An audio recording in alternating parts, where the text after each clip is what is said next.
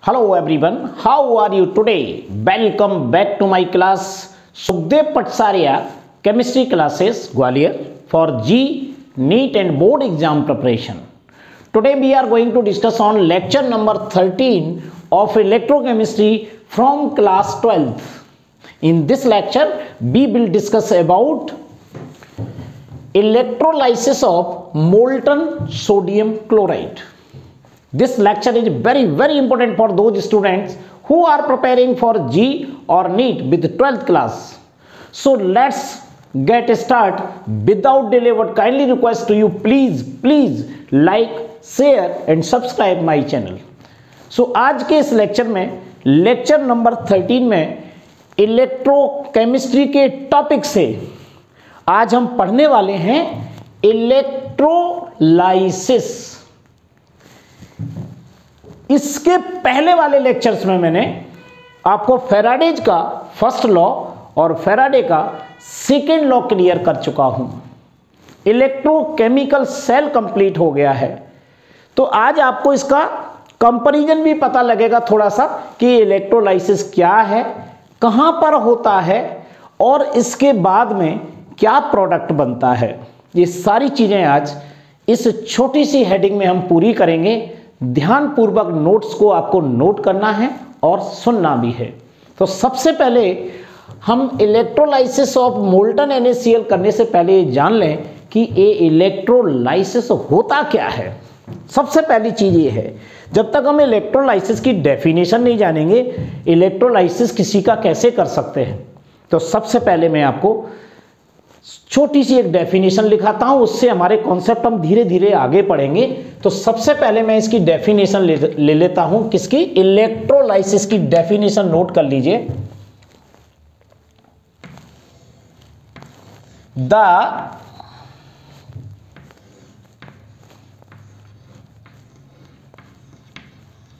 process in which the process in which an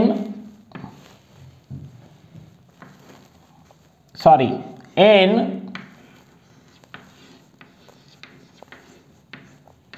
electric current सुन लीजिए दोबारा से the process in which an electric current causes causes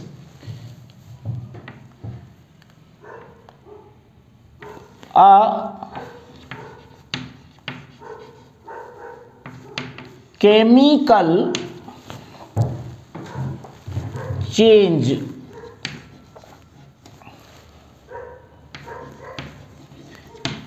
कितनी simple सी बात है। इसको ध्यान से आपको नोट भी करना है और इसे हिंदी में समझ भी लीजिएगा। सारी बात बताऊँगा। जल्दीबाजी बिल्कुल ना करें। कंप्लीट कोर्स में आपको कराने वाला हूँ। एक एक चीज़ क्लियर होगी।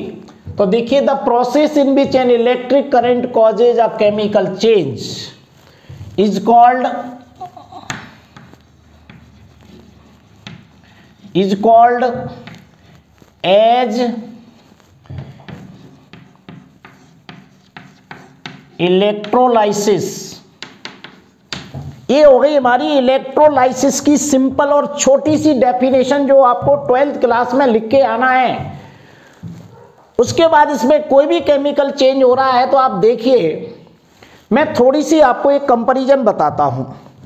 इसके प्रीवियस लेक्चर में मैंने बहुत पहले इलेक्ट्रोकेमिकल सेल आपको पढ़ाया था। यहाँ पर ये इलेक्ट्रोलाइटिक सेल की बात कर रहा हूँ मैं, जो कि यहाँ आपके सामने बना हुआ है, इसके बारे में अभी बात नहीं कर रहा, इसको डिटेल समझाऊँगा आज ही। ये हमारा इलेक्ट्रोकेमिकल सेल और इलेक्ट्रोलाइटिक सेल दोनों की बात करते हैं। इलेक्ट्रोकेमिकल सेल में मैंने आपको बताया था कि वहाँ पर केमिकल एनर्जी इलेक्ट्रिकल एनर्जी में कन्वर्ट होती थी। और इलेक्ट्रोलाइटिक सेल में इलेक्ट्रोलाइसिस होता है।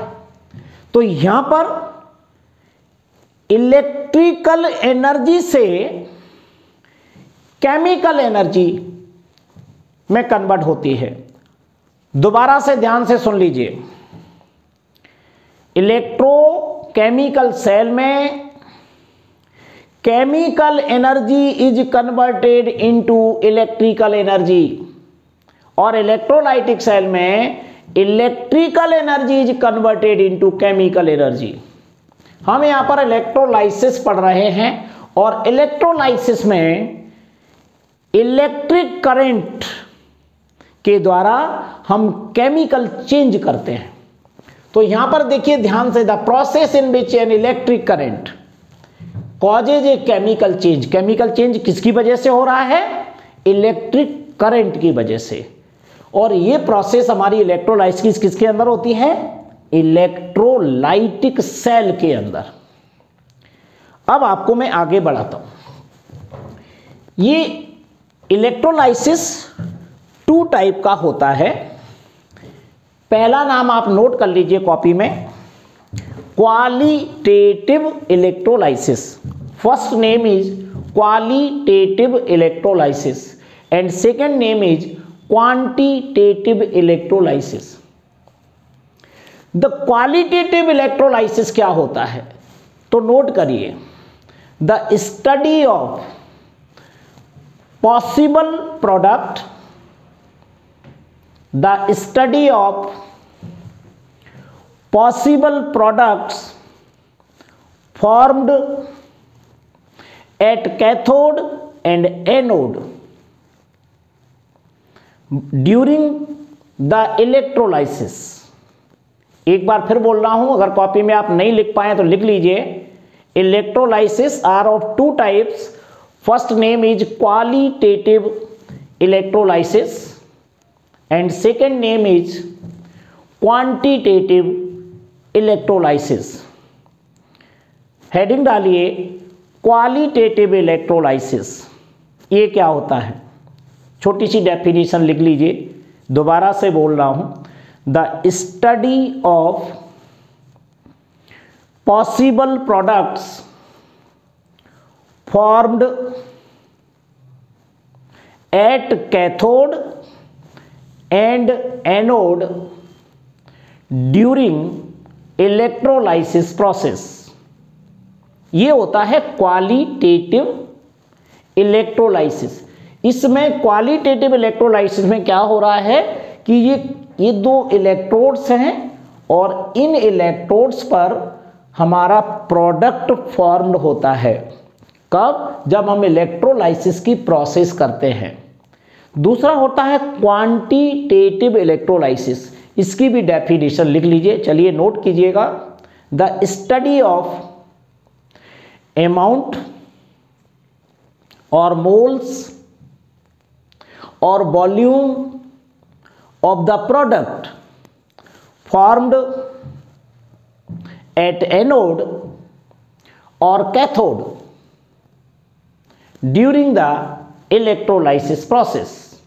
यहाँ पर क्वांटिटेटिव इलेक्ट्रोलाइसिस है, यहाँ पर एनोड और कैथोड पर कितना अमाउंट हमें प्राप्त हुआ, ये हम क्वांटिटेटिव में पढ़ेंगे और कौन सा प्रोडक्ट हमें मिला, ये क्वालिटेटिव इलेक्ट्रोलाइसिस में पढ़ते हैं। ये दोनों ही बातों के, अभी हम आपको और समझाएँगे। अब हम आगे चलते हैं कि इलेक्ट्रोलाइसिस में हमारा इलेक्ट्रिक करेंट की वजह से केमिकल चेंज हुआ। तो आप इसे कैसे कह सकते हैं?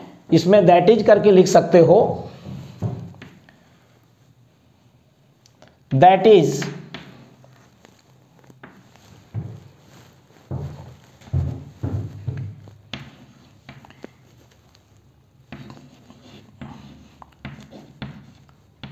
conversion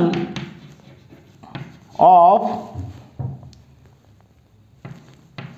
electrical energy to chemical energy इसको शॉर्ट में ऐसे भी लिख सकते हैं। Electrical energy to convert chemical energy ये इसका और शॉर्ट फॉर्म है। अगर आपको दिमाग में रखना है कि इलेक्ट्रोलाइटिक सेल में क्या होता है तो इलेक्ट्रोलाइटिक सेल के अंदर इलेक्ट्रिकल एनर्जी केमिकल एनर्जी में चेंज होती है और इलेक्ट्रोकेमिकल सेल में केमिकल एनर्जी, इलेक्ट्रिकल एनर्जी में कन्वर्ट होती है। ये बात आपको याद रखना है। अब बात आती है कि इलेक्ट्रोलाइसिस का अपन कुछ एग्ज़ाम्पल लेते हैं। और उस इलेक्ट्रोलाइसिस में मुझे एग्ज़ाम्पल लेना है इलेक्ट्रोलाइसिस ऑफ़ मोल्टन NaCl अगर सोडियम क्लोराइड का मैं इलेक्ट्रोलाइसिस करूँ तो हमें क्या प्रोडक्ट मिलेगा? और ये रिएक्शन हमें कैसे करना होगी? बहुत सारे कॉम्पिटिटिव क्वेश्चन इसमें से निकलते हैं। तो देखिए, पहली बात तो मैं आपको बता दूँ, जो इलेक्ट्रोलाइसिस की प्रोसेस होती है, वो इस सेल के अंदर होती है। इस सेल का नाम होता है इलेक्ट्रोलाइटिक सेल इस सेल के अंदर दो इलेक्ट्रोड होते हैं। ये इलेक्ट्रोड आप जो लेफ़्ट हैंड साइड में देख रहे हैं, इसका नाम है एनोड और इस पर पॉजिटिव चार्ज होता है क्योंकि ये पॉजिटिव टर्मिनल से जुड़ा होता है बैटरी के। दूसरा राइट हैंड साइड में जो इलेक्ट्रोड है, इसका नाम होता है कैथोड और ये बैटरी के निगेटिव टर्मिनल से जुड़ा होता है और इसका चार्ज क्या मानेंगे हम? निगेटिव या इसको निगेटिव इलेक्ट्रोड कह सकते हो? सॉरी और या इसको कैथोड कह सकते हैं। ये दोनों इलेक्ट्रोड एक कंटेनर में जिसमें कि मोल्टन NaCl का सॉल्यूशन भरा होता है, इसमें डुबो दिया जाता है डिप कर देते हैं। मोल्टन क्या होता है? मोल्टन का मतलब होता है जैसे सॉलिड NaCl में करंट फ्लो नहीं होता, क्योंकि वहाँ पर आयन फ्री टू मूव नहीं होते हैं। इसलिए इसको हीट करके इसको मेल्ट कर दिया जाता है। इस चीज़ को बोलते हैं मोल्टन NaCl एक्वस सॉल्यूशन नहीं होता, इतना जान लो एक्वस सॉल्यूशन नहीं है, बल्कि इसको हीट करके इसको मेल्ट कर देते हैं। तो इसे मोल्टन NaCl बोलते हैं। इससे क्या मॉलिक्यूल्स इसमें थोड़ा सा फ्री हो जाते हैं।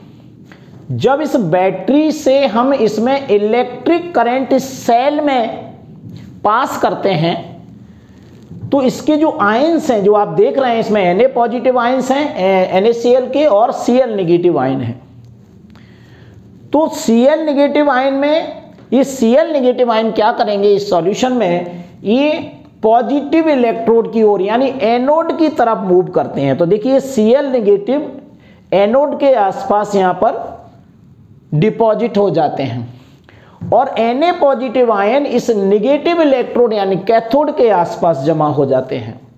अपोजिट डायरेक्शन में अपोजिट इलेक्ट्रोड पर।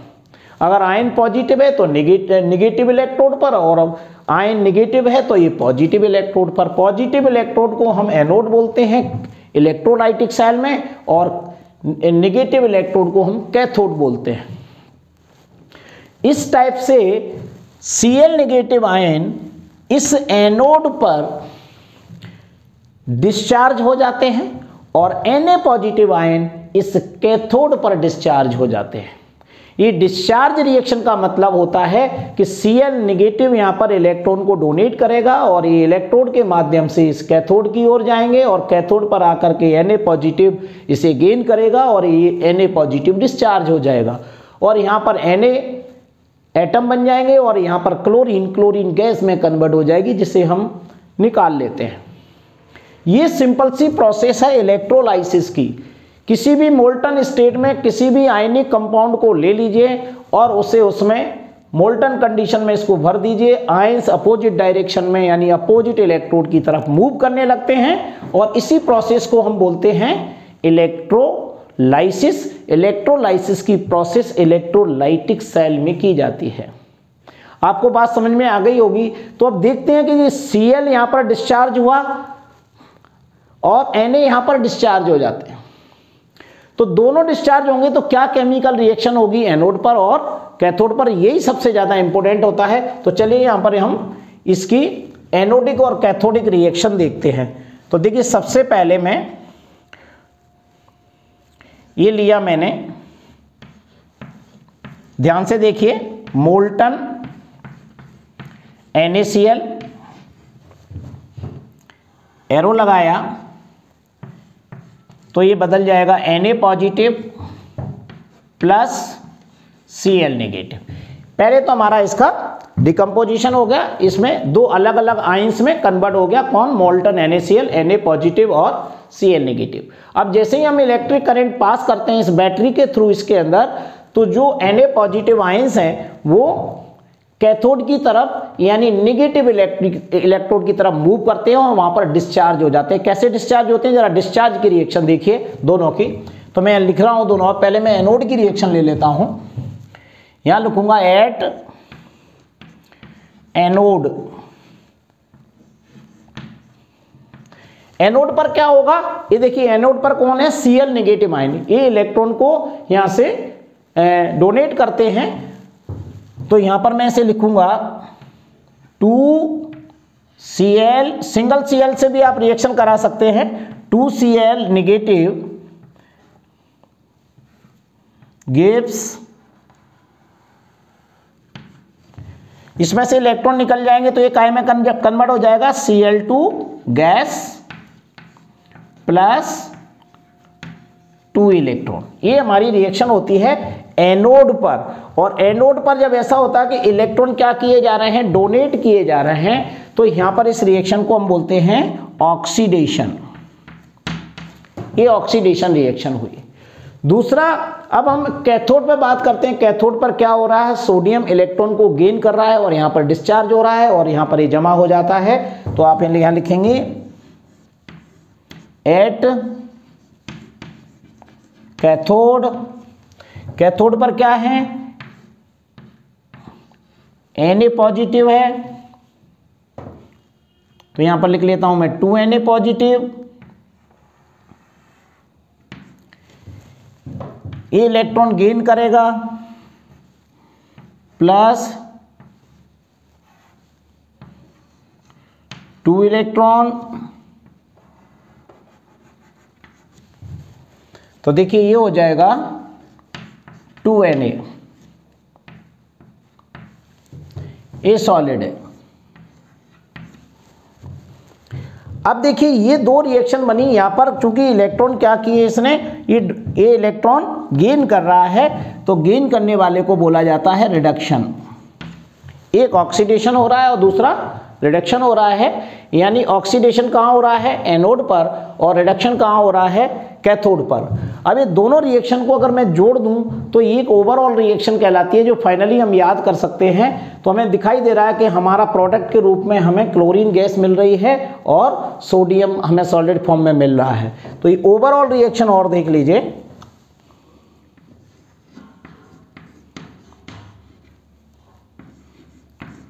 ओवरऑल रिएक्शन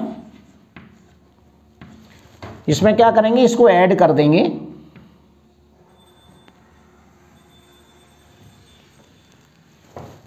तो क्या होगा, देखिए, ये टू इलेक्ट्रॉन है, ये टू इलेक्ट्रॉन है, कट जाएँगे और सारी चीज़ नीचे उतार देंगे यहाँ पर। तो ये बनेगी हमारी two C L negative plus two N A positive gives C L two gas plus two N A solid ये हमारी कंप्लीट रिएक्शन बन जाती है। तो यहाँ पर ओवरऑल रिएक्शन अगर मैं डायरेक्ट याद करके जाऊँगा तो पता नहीं लगेगा कौन एनोड पर है और कौन कैथोड पर है। तो आपको इसे ओवरऑल रिएक्शन के लिए पहले तो आप NACL मोल्टन का क्या करिए? इसका डिकम्पोजिशन करिए, इसे आइंस में कन्वर्ट करिए एन पॉजिटिव और सी एल निगेटिव आयन उसके बाद एनोड पर और कैथोड पर यहाँ अगर समझ में नहीं आए तो आप यहाँ पर देखा करिए, अगर पॉजिटिव आयन है तो निगेटिव इलेक्ट्रोड की तरफ़ मूव करेंगे। और अगर निगेटिव आयन है तो पॉजिटिव इलेक्ट्रोड की तरफ़ मूव करेंगे। और यहाँ ध्यान रखना है एनोड हमेशा इलेक्ट्रोलाइटिक सेल में पॉजिटिव होता है और कैथोड निगेटिव होता है। बैटरी का टर्मिनल देख लीजिए एनोड पॉजिटिव से और कैथोड बैटरी के निगेटिव टर्मिनल से जुड़ा होता है। इसमें और इससे ज़्यादा कोई प्रोसेस होती ही नहीं है। बड़े आसानी से आप किसी का भी इलेक्ट्रोलाइसिस कर सकते हैं और इस तरीके से आप एक फोर स्टेप में रिएक्शन बनाने की कोशिश कीजिए। ये प्रोडक्ट फॉर्म हो रहा था, यही कहलाता है क्वालिटेटिव इलेक्ट्रोलाइसिस जिसमें हमारा प्रोडक्ट क्या बन रहा है? क्लोरीन गैस हमें प्रोड्यूस हो रही है और सोडियम बन रहा है सॉलिड फॉर्म में। तो ये हमारे प्रोडक्ट फॉर्म होते हैं। एनोड और कैथोड पर क्वेश्चन कुछ भी बन के आ सकता है। तो आपको मेनली आपको इलेक्ट्रोलाइसिस की डेफिनेशन याद रखना है। ये कहाँ होती है? इलेक्ट्रोलाइटिक सेल में होती है। ये यहाँ पर इसमें केमिकल चेंज होते हैं और इसी के द्वारा हम सभी केमिस्ट्री में जितने भी इलेक्ट्रोलाइसिस हैं, मैं सब अलग अलग डेफिनेशन से अलग अलग आपको समझाऊँगा बनाना। तब तक आप दो तीन एग्ज़ाम्पल में समझ जाएँगे। तो आज आपका ये इलेक्ट्रोलाइसिस फिनिश और इसमें इलेक्ट्रोलाइसिस ऑफ़ मोल्टन NaCl इसके द्वारा आप दूसरे इलेक्ट्रोलाइसिस करने की कोशिश कीजिए और बताइए मुझे कि किस किस का आपने इलेक्ट्रोलाइसिस किया और उसमें हमें कौन कौन से प्रोडक्ट प्राप्त हुए? क्वांटिटेटिव इलेक्ट्रोलाइसिस थोड़ा सा टफ है वो धीरे धीरे मैं आगे बढ़ूँगा, तब आपको बताता जाएगी। तो चलिए, इस लेक्चर को देखने के बाद आपको कैसा लगा और इलेक्ट्रोकेमिस्ट्री में आपको क्या क्या दिक्कतें आ रही हैं, मुझे बताते जाए। मैंने सारी इलेक्ट्रोकेमिस्ट्री को क्रम से आपको नोट्स दे रहा हूँ। किसी प्रकार की प्रॉब्लम होने पर मुझे कमेंट सेक्शन में ज़रूर बताइए। ये पूरा कॉम्पिटिटिव मटेरियल है। अगर आप ट्वेल्थ क्लास के स्टूडेंट हैं, तब भी आपको कोई चिंता करने की ज़रूरत नहीं है। तो चलिए next lecture will be continue